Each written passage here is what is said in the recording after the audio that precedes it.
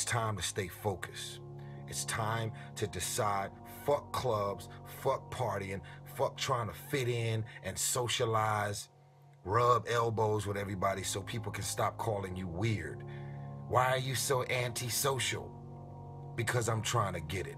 Why are you staying on the basketball court so much? Because I'm trying to get it. Why are you out there practicing in the hot sun when ain't nobody else out there? Because I'm trying to get it.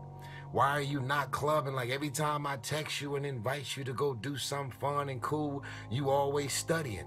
Because I'm trying to get it. Let's say that there's someone listening who resonates with what you're talking about. You know, mm. they've been through trauma, they've been through hard times, mm-hmm. but they keep breaking promises to themselves and mm-hmm. they're struggling to get off the couch and they're having a pity party. Mm-hmm. How can they stop feeling sorry for themselves? That's a difficult one because you have to want it. You have to want to be better. And it starts off with you have to have pride in yourself. You you have to have pride in yourself.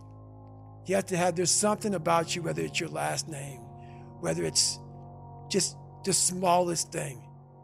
You have to be proud of yourself. And if you have no pride in yourself, I can't give it to you. The more weird you are, is a reflection of how committed you are to focusing on your shit, molding and shaping and developing your ideas and your craft so that when it's time for you to make your rounds, you're gonna fly.